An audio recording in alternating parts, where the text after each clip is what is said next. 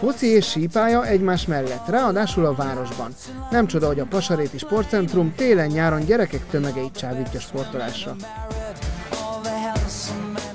Sikerélményeket okozva nekik, hamar és kiskorban el lehet sajátítani a sítechnikát, és erre egy ideális környezet különösen a kiskorú gyerekeknek, akár két-három éves kortól is a műanyag pálya. Nagyon tetszik, nagyon sok kis gyerek jött el, és, és én ennek nagyon örülök, hogy Magyarországon ilyen nagy népszerűségnek örvend a sielés műanyag pályán is.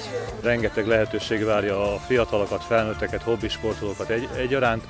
1500 gyerek sportol, ennek egyik nagyon fontos része a síoktatás és a sícentrum, ahol eddig 500 gyerek fordult meg ebben az évben, ebben a szezonban. Ez a műanyag sípálya nyilván lehetővé teszi azt, hogy a, a koordinációt, a szárazföldi edzéseket és a, a, az egészben az edzésben maradás biztosítja, úgyhogy ez egy tökéletes helyszín arra, hogy láthatok egy gyönyörű környezetben, egy fás övezetben. Szeretettel várjuk nyáron is a gyerekeket, és hogyha igény van rá, akkor nyilván, hogy biztosítjuk a lehetőséget a sportolásra.